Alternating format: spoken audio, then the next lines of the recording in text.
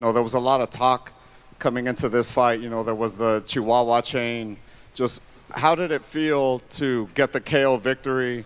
You know, to stop, you know, do the talking in the ring like you wanted. And uh, did Rolly give you the, the Chihuahua chain after?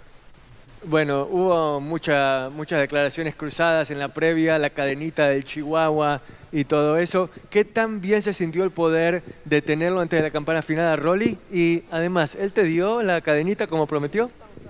No, creo que demostré que más vale que respeten a un pitbull porque el que lo llame Chihuahua, eh, aquí se va a ver reflejado cómo va a terminar como Rolando en esta noche y bueno, la, la cadena nada más se quedó en puro, puro hablar.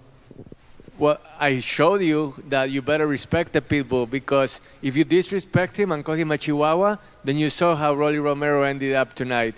And and the chain, well, it ended up as being just stuck. I don't have it. Ask away. Hey, Pitbull, how are you? This is uh, Najee from Cigar Talk. I'm here. Uh, congratulations, first of all. Um, a big win, very exciting style. Um, now that you're at 140, um, fans have already been clamoring on Twitter uh, about a potential fight with Sabril Matias. Um, I wanted to know what you think uh, about a fight with him. Eh, ¿Qué te parecería una pelea contra Subriel Matías? Porque se está rumoreando que quizás se podría ser un buen oponente para vos. Como lo he dicho, yo no me cierro a pelear con nadie siempre y cuando lleguen a buenos términos entre empresas y bueno, en primer punto que, que su empresa y mi empresa lleguen a un gran acuerdo y yo peleo con quien sea. Bring anybody on. I'm willing, like I, have always said, I'm willing to fight anybody as long as both parties come to an agreement. If his side comes to an agreement with my side and everything works out, then I have no problem fighting with him or anyone else.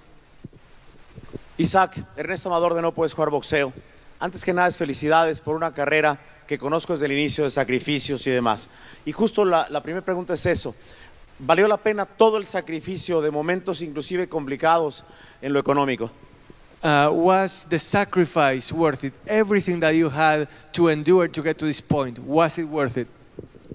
Claro, totalmente. Ahora sí que para poder llegar a hacer, algo o alguien en la vida siempre requiere de mucho sacrificio, disciplina y trabajo y es lo que hicimos en esta, en esta noche.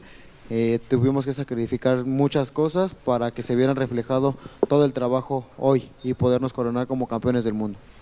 Absolutely, it was worth it. Anything worth doing in life takes sacrifice, hard work, and dedication.